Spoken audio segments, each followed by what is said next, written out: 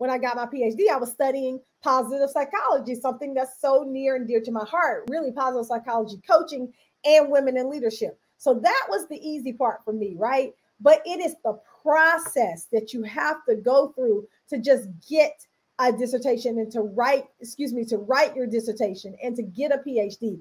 That process is not is like no other. it is not like anything you've been through. And at the end of the day, you come out with this beautiful um, book, basically 150, 200 word document that you spent all these years culminating. That's the process. That is the hard process. But sometimes when we decide to start something like a you know like a PhD or a business or going for that job that VP level um we just don't think it's going to be this hard but it is.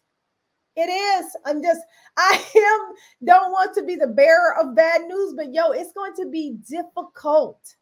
It's going to be hard. And i think that if we actually anticipate that it's going to be hard then we can we it'll make our road